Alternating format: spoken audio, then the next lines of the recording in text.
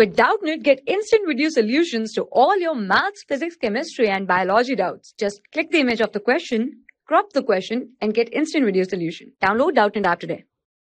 Hello everyone, in this question we need to classify the following as open or closed curves. Okay, so four parts are here and we need to classify which is open and which is closed curve.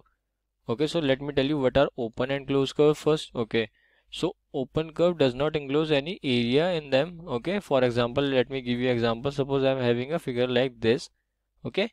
So what i wanted to say that open curve always have two endpoints. So this is first endpoint and this is second endpoint okay?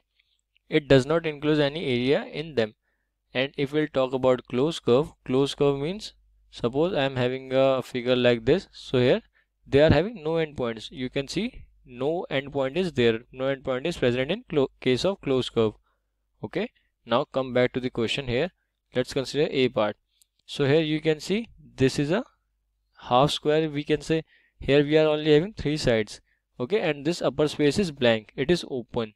Okay? So there are two endpoints. You can see first endpoint and second endpoint. So what i said if a figure is having two endpoint then it is a open curve. So let's write open curve. Okay part is open curve. Now come to b. Okay we are having c and d part now b part here. You can see we are not having even a single endpoint here okay? And all the side are fully covered we can say.